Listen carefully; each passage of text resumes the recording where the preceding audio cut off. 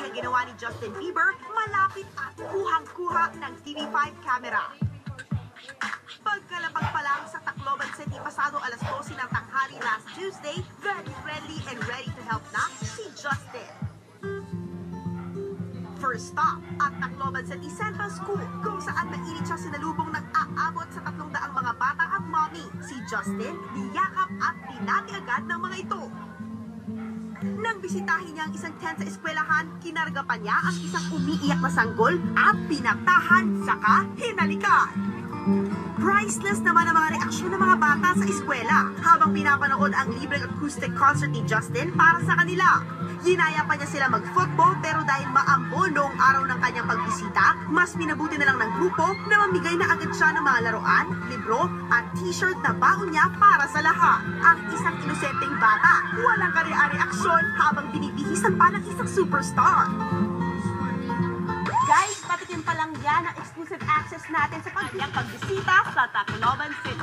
Kinantahan pa ng pop superstar ang Yolanda Survivors na may kaarawan. At ang isa sa kanila, muntik-muntikan pa niyang makalips-lips. Justin Bieber ang pinanggigilan ng mga kabataang survivors, kundi maging ang manager nitong si Scooter Brown na nag-abot din ng t-shirt sa kanila. Samantala, hindi pa nakontento si Justin kaya nagpatuloy pa siya sa pagbisita sa iba pang badly hit areas ng Tacloban City, ang San Jose. Sa pagbisita niyang ito, hindi alintana ni Justin Bieber ang masangsang na amoy ng kapaligiran ang mapuputik na daanan at ang makipagsiksikan, mapuntahan lamang ang San Jose Elementary School. At kahit pagod na pagod at pawis na pawis, todo entertain pa rin siya, mapasaya lamang ang mga biktima ng Super Typhoon Yolanda. Bukod dito na mahagi rin siya ng mga laruan at coloring books sa mga batang survivor. Hindi rin pinalampas ni Justin Bieber maging ang paglalaro ng basketball.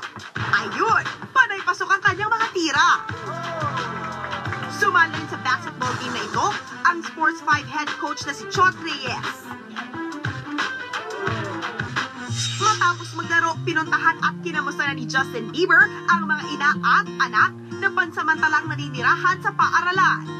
Short and very sweet ang pagbisita ni Justin Bieber dito sa bansa, katuwang ang UNICEF, Prizeo, AIA at TV5 para sa kanyang kampanyang Give Back Philippines kung saan ang part ng proceeds nito ay ibibigay ni Justin Bieber sa Alagang Kapatid Foundation.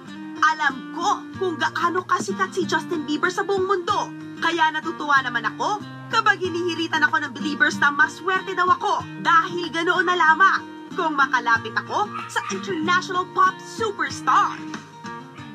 Sino mag-aakala na isang Justin Bieber ay personal na bibisita at tutulong sa mga survivor ni Bagyong Yolanda? Kaya naman ang ating mga kapatid na Pinoy, mas humanga sa ating international na kapatid. Ito po si MJ Marfori, nag-uulat para sa Marfori Exclusive. Kinakasiyahan sa ating mga kapatid sa Tacloban, dumaan naman ang international superstar na si Justin Bieber sa Manila upang makasama ang ilan sa kanyang mga tagahanga. Naroon din ang ilang celebrities at syempre, hatid namin sa inyong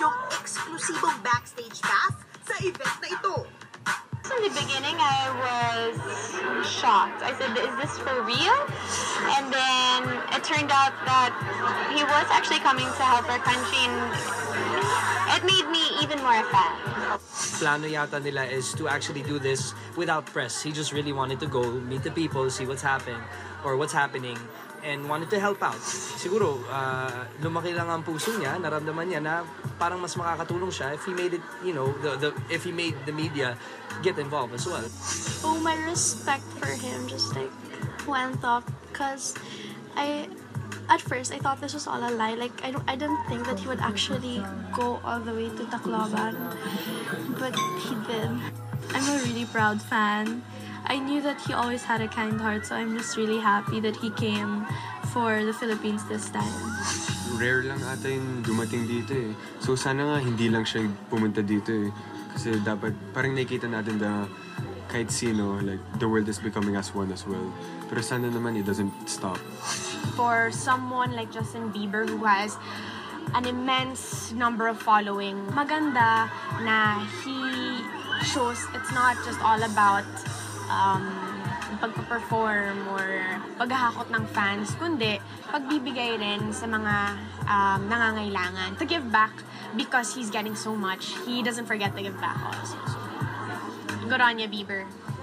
more than the actual experience of playing one-on-one, what was really very heartwarming, yung he took the effort to go out of his way, you know, from Australia instead of going back to the States, dumaan siya dito. And then he raised that amount of money. Playing basketball, you know, singing for them, that was all part of it.